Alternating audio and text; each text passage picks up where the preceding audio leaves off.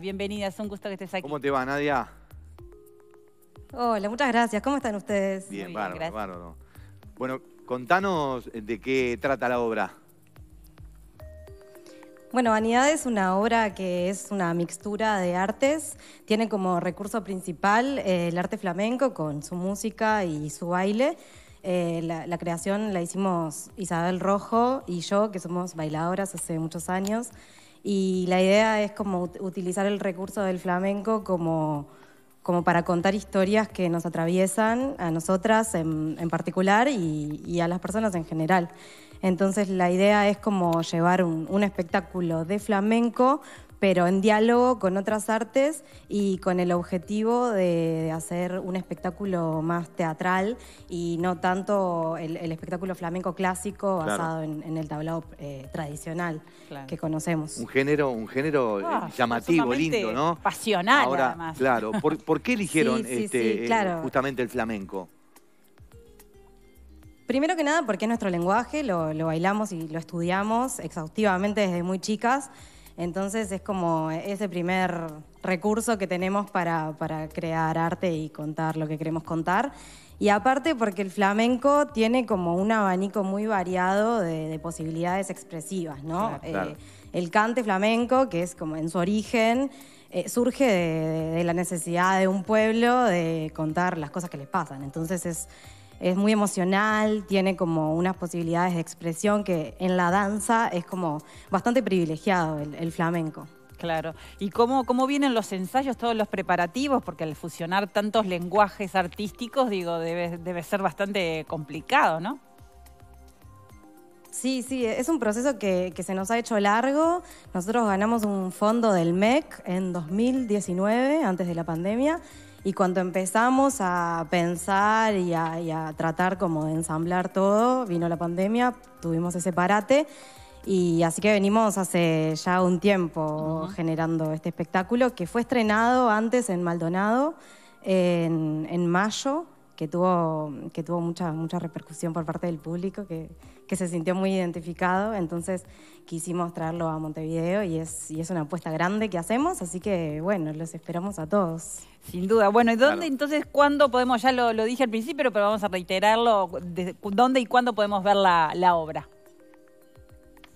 La obra va a estar eh, con una única función este sábado, 20 de agosto, a las 21 horas en el Auditorio Va Ferreira, que es, es una sala que está en la Biblioteca Nacional. Ahí mismo, al costadito, se entra. Y es una sala re linda, que está toda nueva y estamos muy, muy contentos de, de habitarla. ¿Cómo es trabajar la, la dirección junto a Isabel? Bueno, nosotras somos eh, hermanas del arte y de la vida y en realidad nos llevamos muy bien, hemos desarrollado, venimos ya trabajando, esta es nuestra segunda obra. En 2015, también por un fondo del MEC que ganamos, hicimos nuestra primera obra que se llamó Ella también soy yo. Y tiene una impronta muy parecida, como esto de hacer dialogar distintas artes y, y contar historias que son de acá, porque también vemos al flamenco como algo de España y, y siempre estamos tratando como de imitar aquello. Y nuestra apuesta en realidad es como llevarlo acá, a nuestra edad, a un contexto actual.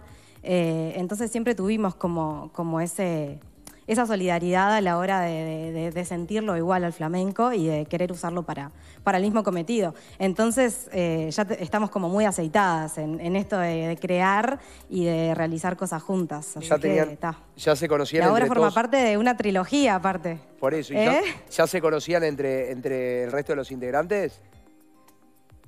Sí, sí, en realidad somos, somos todos compañeros flamencos del, del mundillo flamenco que en Uruguay existe y vive y lucha. Eh, estamos acá con Camilo Penadez, que es nuestro guitarrista, que también nos acompañó en la anterior obra.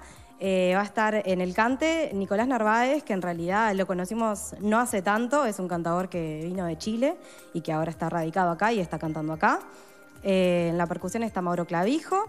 Y después también tenemos la novedad que eh, va a estar presente la actuación.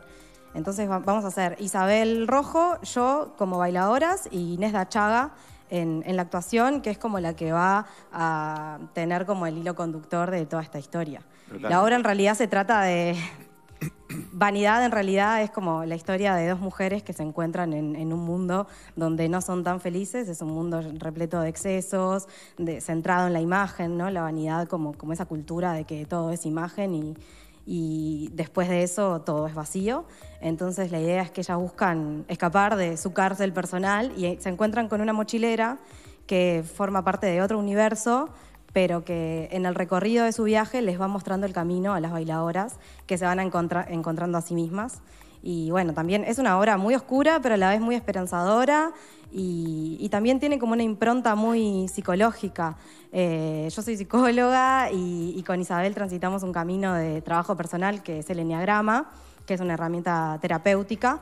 Y, y bueno, ta, eh, tiene un poco de, de ese viaje que hemos vivido nosotras y, que, ta, que muchas personas acá en Uruguay también lo han transitado. Y también es una invitación a que googleen enneagrama, que, Qué que es una herramienta muy potente. Bueno, lo vemos, lo vemos a Camilo ahí con la, con la Sí. guitarra. ¿Qué, qué, Sí, qué instrumento noble sí. la guitarra? Porque te puede tocar rock, te puede tocar una balada, te puede tocar samba, pero cuando empieza a sonar la guitarra de flamenco, Sí, sí. te Ah, ponen en otro lugar. Es así. Bueno, nos encantaría eh, Bueno, es lo que decía, que el flamenco. Bueno, dale, sí. Divina, Nadia, muchísimas gracias. Los vemos, los escuchamos. Bueno, Cuca, mi padre te ama. Nada. Ah, qué revelación. ¿eh? Mandale un beso grande. Bueno, Dale. Decirle que está en pareja por la dejamos duda. con, con un poquito. Divino, No, gracias. ya sabe, ya sabe. Ah, bueno, está. Mandale un beso. Bueno, este, los dejamos con un poquito de. no. Eh, les dejamos con un poquito de lo que va a ser el Dale. sábado Vanidad, así que ya están todos invitados el- en la sala Ferreira. Las entradas están en Ticantel y en la boletería del teatro. Y bueno, ojalá nos puedan acompañar. Muchas gracias por Gracias, el espacio. Nadia. Gracias a ti. ustedes. Éxitos.